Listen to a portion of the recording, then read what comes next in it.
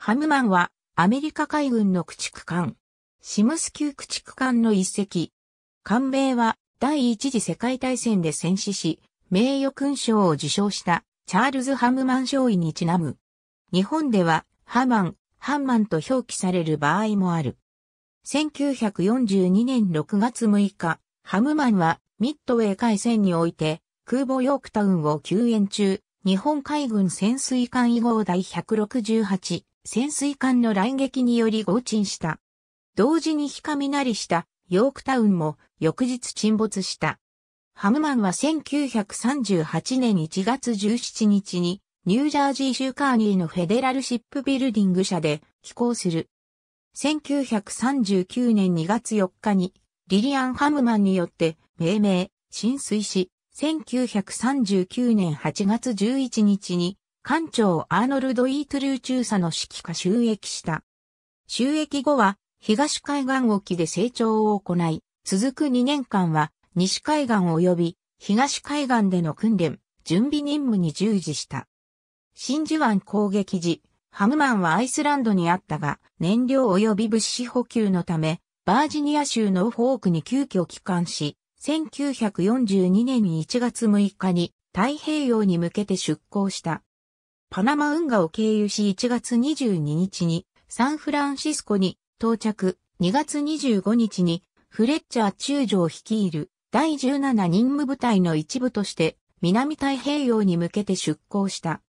3月前半はニューカレドニアで訓練演習に参加し、任務部隊は27日にサンゴ海へ向けて出港した。ハムマンは航空母艦レキシントンの護衛として同行し、4月20日にトンガタプ島に帰還した。任務部隊は4月27日に再びサンゴ海へ向かい、つらぎ島を攻撃する日本軍部隊と対峙した。5月4日、空母ヨークタウンから発進した攻撃隊は、つらぎ島の日本艦隊を攻撃、巡洋艦3隻を含む14隻を撃沈もしくは大破という大戦果を報告した。この時、米軍攻撃隊は3機の損害を出した。空母の護衛中にハムマンはガダルカナル島、北方 65km で撃墜された戦闘機パイロット2名を救助した。ハムマンは全速力で航行し、夕暮れ時に海岸に到着、パラシュートを確認した。艦載艇が準備されたが、寄せ波のため下ろすことができず、パイロットはボートからの綱を使って救助された。その後戦闘機の機体の破壊が試みられたが、海が荒れていたため不可能であった。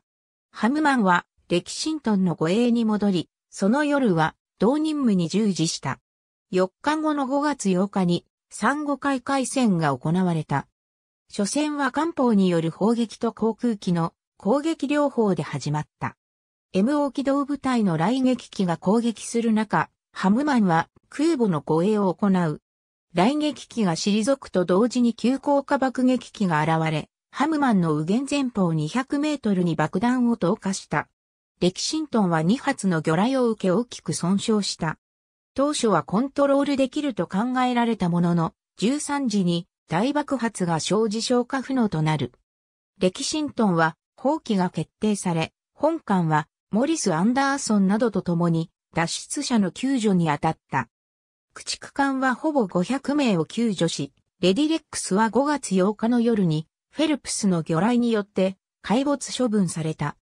産後海海戦により日本軍の南東への進出を阻むことができたが、新たな脅威に対してニミッツ提督はハムマンに対して北方への急行を命じた。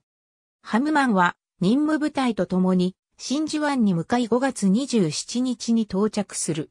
修理の後5月30日に出港しミッドウェイ島に向かった。ヨークタウンから見た沈没するハムマンミッドウェー海戦では6月4日の戦闘でハムマンはヨークタウンの護衛を担当した。日本軍大勝利の大本営発表とは裏腹にミッドウェー海戦は米軍の勝利で終わった。しかしヨークタウンは空母飛竜攻撃隊の攻撃により2本の魚雷が命中して大破、その日の午後に放棄が命じられた。ハムマンはヨークタウンの生存者を救助したが、その中には、艦長のバックマスター大佐も含まれた。その後生存者は大型艦に移乗した。漂流するヨークタウンには駆逐艦ヒューズが付き添った。翌朝ヨークタウンの維持と牽引が試みられ、バックマスター艦長を含めて170名がヨークタウンに戻った。ハムマンはダメージコントロールのためヨークタウンと並走し、消火用ホースと水、動力を供給した。ハムマンはヨークタウンの燃料タンクに消火ホースで注水し、空母の傾斜は水平になった。総海底ビレオがヨークタウンの栄光を開始し、同艦は約3ノットで真珠湾への移動を開始した。この時、漂流空母を撃沈せよとの命令を受けた日本海軍の以号第168潜水艦が接近してきた。無音航行で護衛艦艇の警戒を潜り抜けた E168 潜水艦は日本時間0937に潜望鏡を上げて距離500メートルにヨークタウンを発見する。距離を稼いだ後1005に距離900メートルで魚雷4発を発射。魚雷1本がハムマンの右舷中央部に命中した。ハムマンは大爆発とともに流骨が折れ、二つに分断されて合沈した。E168 号はハムマンがいたことも、ハムマンを撃沈したことも認識しておらず、戦後になって事実を知った田辺中佐は、儲け物をしたわいと思ったと回想している。ハムマンにとって不幸なことに、艦尾の爆雷は発火準備状態だった。艦後部が沈むと同時に爆雷の水中爆発が起こり、海上に投げ出されていた多数の乗組員が死亡した。乗組員、定員251名のうち81名戦士と記録されている。生存者はベンハムとバルチによって救助された。なお、ヨークタウンには右舷に魚雷2本が命中した。翌日朝、同艦は艦尾から沈没した。E168 は爆雷攻撃を受けて損傷したが、6月19日に呉軍港に帰投することができた。ハムマンは太平洋戦争における重要な二つの海戦に参加後、失われた。艦長のトゥルー中佐は領海戦における功績で海軍十字章及び主勲章を受章した。ハムマンは第二次世界大戦の先行で2個の従軍聖章を受章した。ありがとうございます。